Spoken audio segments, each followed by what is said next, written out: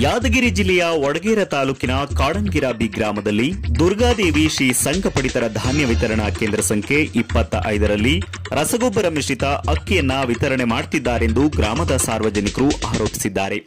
ಇದರ ಬಗ್ಗೆ ಪಡಿತರ ಧಾನ್ಯ ವಿತರಣೆ ಕೇಂದ್ರದವರನ್ನ ವಿಚಾರಿಸಿದರೆ ಮೊದಲು ಮೇಲಾಧಿಕಾರಿಗಳನ್ನ ವಿಚಾರಿಸಿಕೊಳ್ಳಿ. ಇಲ್ಲವಾದರೆ ಅದೇ ಹಕ್ಕಿಯನ್ನ ತೆಗೆದುಕೊಂಡೋಗಿ ತಿನ್ನಿ ಎಂದು ದರ್ಪದ ಮಾತುಗಳನ್ನಾಡುತ್ತಿದ್ದಾರೆಂದು ಸಾರ್ವಜನಿಕರು ಆರೋಪಿಸಿದ್ದಾರೆ. ಹತ್ತು ವರ್ಷ ರೀ ಜೂಮ್ ಮಾಡು. ಇದೆಲ್ಲ ತೆಳಗ್ ತೋರ್ಸ್ಗ ಕೆಳಗೆ ತೋರ್ಸು ಅಕ್ಕಿ ತೋರ್ಸು ಇಲ್ಲ ನೋಡಿ, ಅಕ್ಕಿ ಪ್ಯಾಕೆಟ್ ಅಕ್ಕ. ತೋರ್ಸು. ಅದೊಂದು ಬಿಚ್ಚು ತೋರ್ಸು. ಎಲ್ಲ ಬಿಚ್ಚಿ ತೋರ್ಸ್ರಿ ಅವಾಗ. ಇದ್ರಾಗಿರೋ ಕಾಣಿಸ್ತಾವ. ಅಕ್ಕಿಗಳು ಮ್ಯಾಗ ಕಾಣ್ತಾವ ನೋಡಿ. ಎಲ್ಲ ಕಾಣ್ತಾವ ನೋಡಿ. ಇದ್ರಾಗ ಹ್ಮ್ ಗಾ ಇಲ್ಲಿ ಆದ್ ನೋಡಿ ಅಕ್ಕಿ ಗಾ. ಗಾ, ಬರ್ತ್ ನೋಡಿ, ಇಡ್ರಿ. ಹ್ಮ್. ಇಲ್ಲಿ ಇದನ್ನ ಜೂಮ್ ಮಾಡಿ. ಅವ್ರಿಗೆ ಹೇಳ್ರಿ ತುಂಬಿಗೆಸಿ ಏನ್ ಮಾಡೋದು ಅವರು ನಾಲ್ಕು ಮಂದಿ ಒಂದು ಚಿನ್ನಗ ಅವ್ರ ಇದ್ರಾಗ ಆಯ್ತದಮ್ಮ ಅಂತ ಗಿಡಗಳ ಹೆಚ್ಚ ಕಡಿಮೆ ಆದ್ರೆ ತೂತು ಬೀಳ್ತಾವ. ನೀರಾಗ ಗೀರಾಗ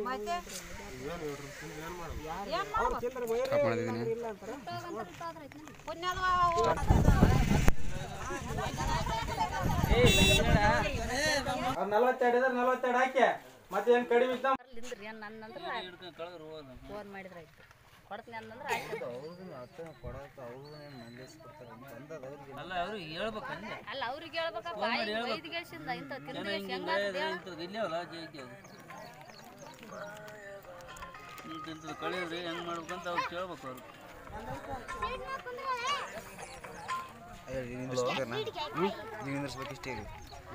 ಇಲ್ಲಿ ಸುಸಟ್ ಬಲ್ಲಿ ಅದೇನು ಅಕ್ಕಿ ಮಸಾಲೆ ಒಂದ್ ಇದೆ.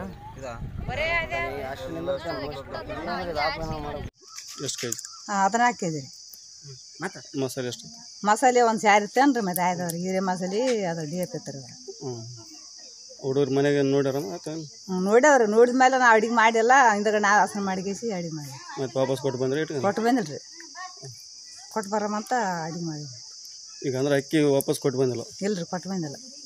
ಹ್ಞೂ ರಾಸನಲ್ಲಿ ರಸಗೊಬ್ಬರ ಬಂದಿದೆ ಮತ್ತು ಅದು ಯಾವುದು ಡಿ ಎ ಪಿ ಮತ್ತು ಯೂರಿಯಾ ಅಂತ ಬಂದಿದೆ.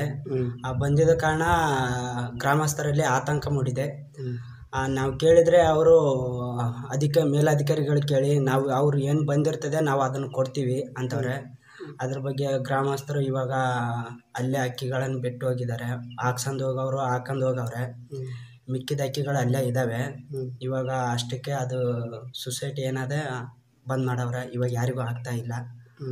ಅದನ್ನು ಮೇಲಧಿಕಾರಿಗಳು ಸ್ವಲ್ಪ ಗಮನಿಸಬೇಕೆಂದು ಅಲ್ಲ ಇವ್ರಾಗ ಇವ್ರು ಬಂದಿರ್ತಲ್ಲ ಇವ್ರು ನೋಡಿ ಹಾಕ್ಬೇಕಲ್ಲ ಇವ್ ಬೇಡ ಅದು ಜನಗಳು ನೋಡಿದ ಮೇಲೂ ಅವರು ಹಾಕೊಂಡು ಹೋದ್ರೆ ಹೋಗಿ ಇಲ್ಲ ಅಂದರೆ ಬಿಟ್ಟೋಗಿ ನಾವು ಮುಂದೆ ರಾಷನ್ ಕಾರ್ಡ್ ಇವರು ಹಾಕೊಂಡೋಗಿಲ್ಲ ಹೋಗಿಲ್ಲ ಅಂತ ನಾವು ಮೇಲಧಿಕಾರಿಗಳಿಗೆ ಹೇಳ್ತೀವಿ ಅಂತ ಹೇಳ್ತಾವ್ರೆ.